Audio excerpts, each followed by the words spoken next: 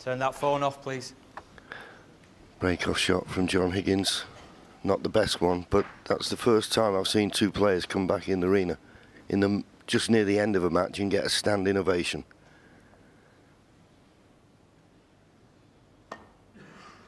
Oh, right to the heart. One.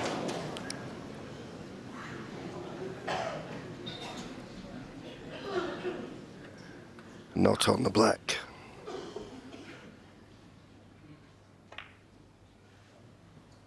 Mark Williams, one.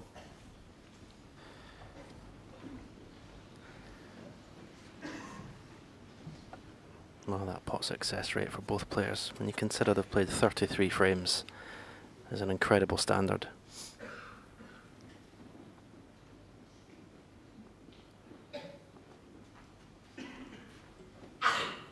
John Higgins had been so relieved when Mark Williams spotted that first red that he didn't land on the black.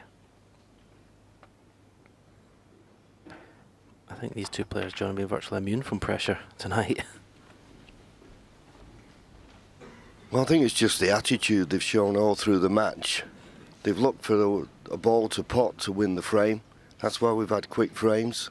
Average time less than 16 minutes. As you said uh, in the last frame, it's been proper snooker all the way through. Great advert for our game. That's a bonus. That's a bonus for Mark Williams. Didn't hit that safety shot too well.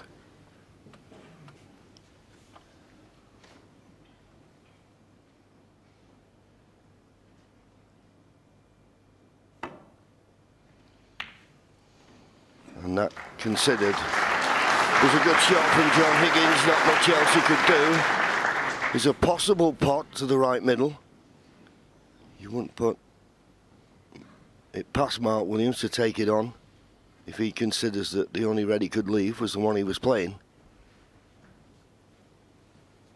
And maybe there's another one to the right middle.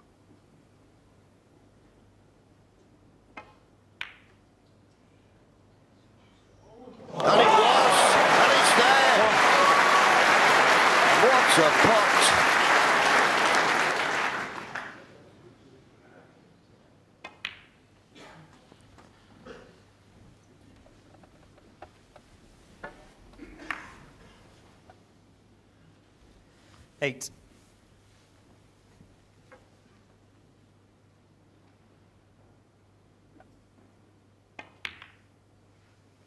Oh, another chance. Nine. Another good chance to wrap up this championship. It's been like a boxing match this tonight. Punch for punch. 16.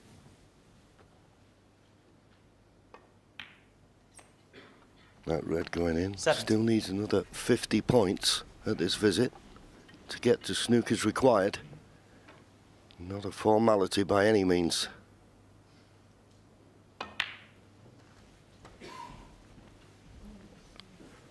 And a little bit short with that one. 24.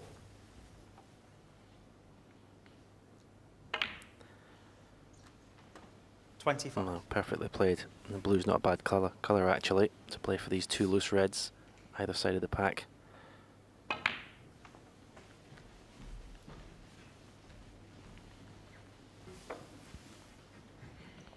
Oh, this red and 30. the red closest to the cue ball. The last open reds.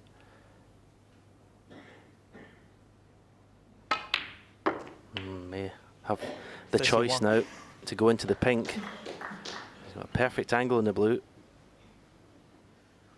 Big shot.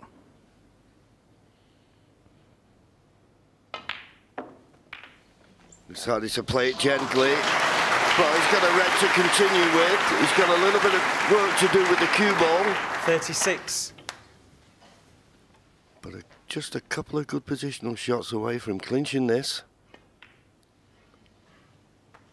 Played it well, played a nice bit of right hand side just to check it on the black.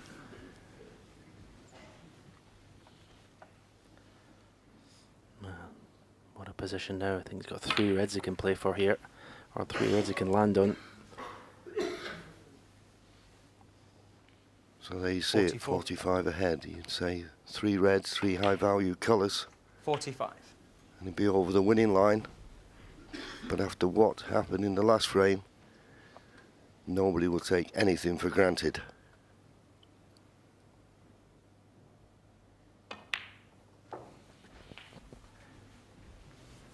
I missed one of these earlier on, and it cost him the frame. 52. He's got to strike this well. Screwing back for the black. And he struck it beautifully. 53. Yeah, smooth as silk that one. There was no jabbing on that one. But he's not got the great angle on the black, and he doesn't really want to play for the red along the top cushion because it's missable. But has he any other option? No, he's having to play for the tricky red. This red and a black. And John Higgins will need a snooker. 60.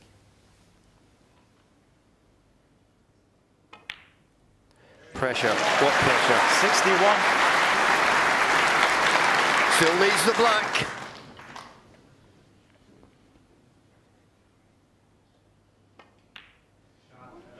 And this time, no mistake. Well, what a performance from Mark Williams to put behind him the fact that he should have won it the frame before. Nothing John Higgins can do now.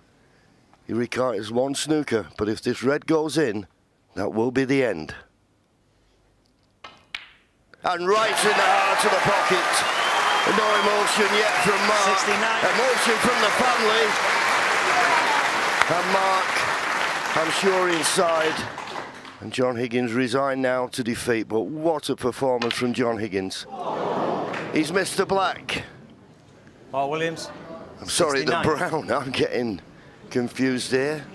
Well, I don't think he can quite believe he missed the brown. Quiet down, No. please. I Thank think after he hit it, he got up and thought, did I really miss that?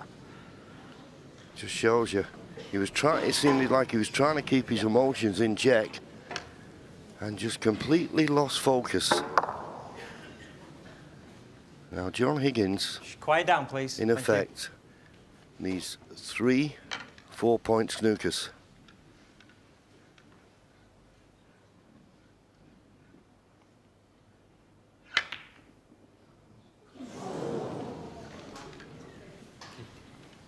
Wasn't easy.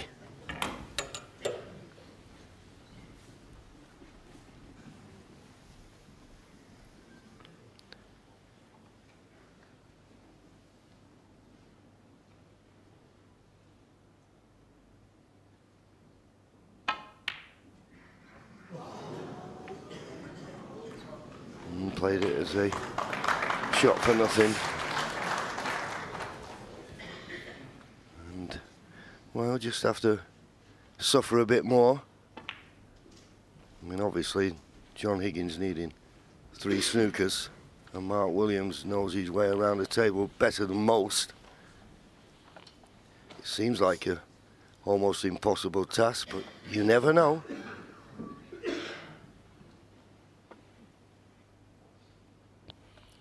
Yeah, just to taking an extra couple of deep breaths, Mark Williams, just to get this over the line. But he'll be feeling incredible.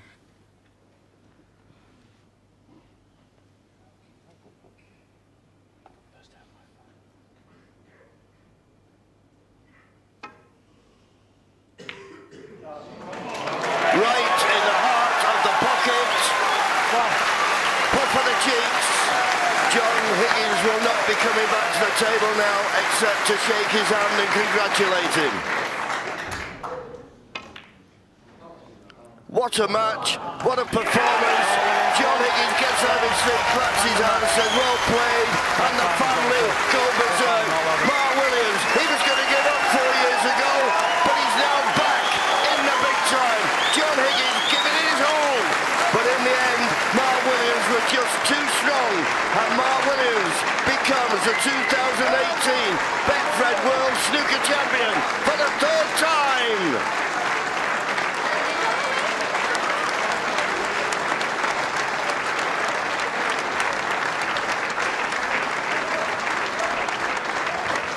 Ladies and gentlemen, please, Everyone already upstanding, but let's hear it one more time for one of the most magnificent finals we have ever witnessed.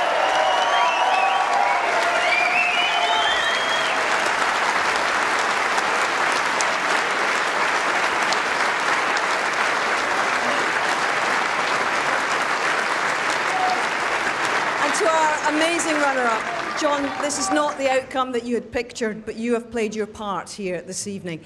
At what guts, what bottle to pull that 65 out to go 16 17 tonight. Can you sum up your feelings at being part of this incredible occasion?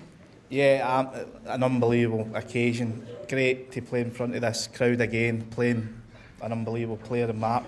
Uh, the red that he spotted in the last frame there was just a joke, really. Uh, spe especially under the pressure that, that that I probably put him under, and he, he went in and done done one of the best breaks under pressure I've ever seen. So every credit to him. Brilliant. John, it's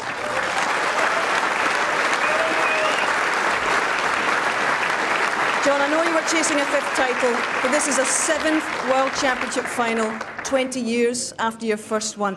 I wonder how much pride you can take in staying the course here and still starring on this stage two decades later. Yeah, listen, uh, today I'm 13-7 behind. I was, I just, I was wanting to actually take it to a fourth session. Really, I didn't want to lose uh, with a session to spare. Uh, I luckily done that, and then tonight I came in and put a bit of pressure on Mark, but it was to no avail. But it, it must have been a, a good match to watch. But obviously I'm disappointed. But as I said, every credit, brilliant champion. Brilliant. He is indeed, and so are you. Thank you, John. Thank you very much.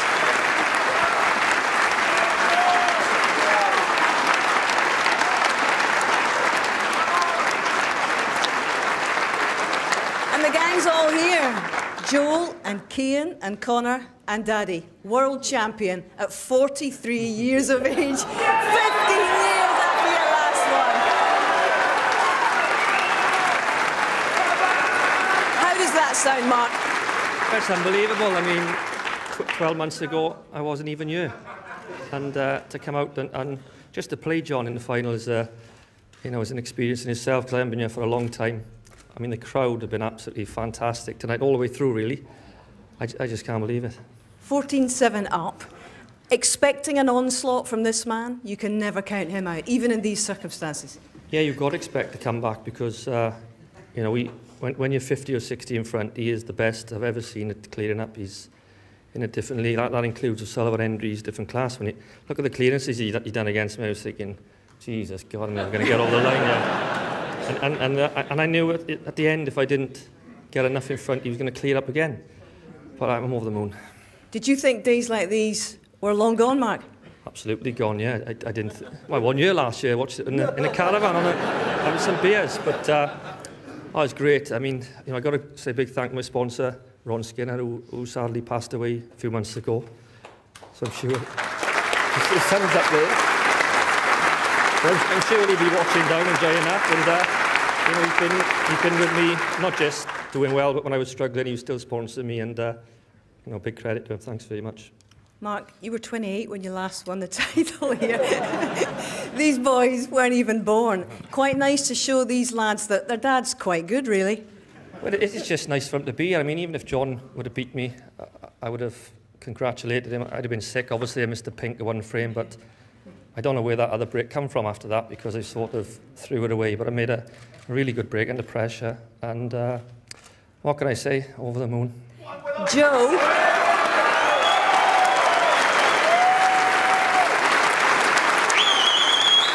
I think. I think we owe a debt of gratitude to the lady that's on the screen now. Jo, your wife, she was the lady. Here she comes. Come on in, Jo. Because you are the one who persuaded this man not to hang up the cue, but to keep going last year. And this is a family snap for the album here. What would you like to say to this woman, the woman who kept you going? Ah, yeah, she convinced me. Last year, I was seriously thinking about giving up, and she um, she basically said, "I can't stick when you have 24 hours a day, so you, you'll have to keep going." And uh, I, I can't believe 12 months. He, I got to thank Steve Feeney as well. He's helped me out so much. My game was crap, really, 12 months ago, and now it's, it's, it's in pretty good shape, and I'm looking forward to the next season. Kian, you have been this man here.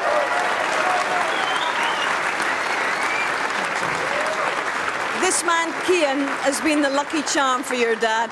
What do you think of the way he's won the world title this evening, Kian? Well, he played good against. Oh, what was the first person you played? Jimmy Robertson. Jimmy, Robertson. He played You're supposed to be good in school. against him. Yeah, I suppose. I wasn't in school then. I wasn't in school for um, the Milk Robertson. I wasn't in school for a week just so I could watch him play.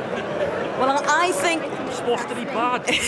I think you're going to be excused. Don't you worry. You have been the man who's kept this fella on track. Now, I just wonder whether you are going to make good your promise to um, to Bare All at the media conference afterwards. Mark, would you like me to hold your waistcoat? As, as, as long as uh, Barry Hearn is not going to fine me or discipline me, I'll, I'll have to do it. I'll have to do it. We'll look forward to that. You can see that on the BBC Sport website. But this man has just won the title, a third title, 15 years after his last. He's going to pick up a cheque for 425,000 pounds, and that's going to keep him. That's going to keep him in kebabs for a very, very long time. Your champion, Mr. Mark Williams. Well done.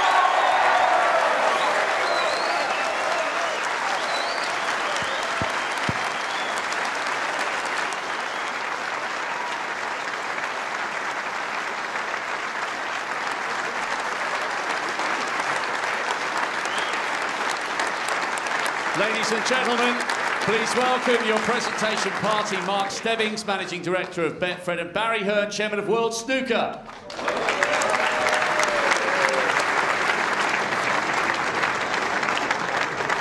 The runner-up deserving a giant reception, receiving a cheque for £180,000 and the silver medal. He is a class act. He's John Higgins.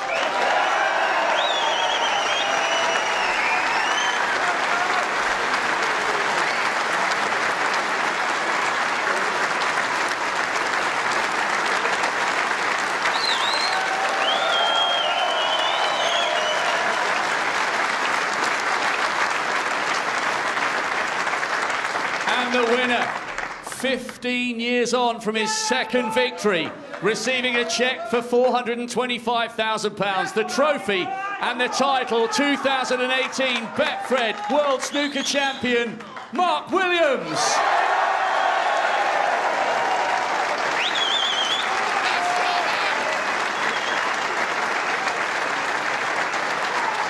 Your champion, Mark Williams.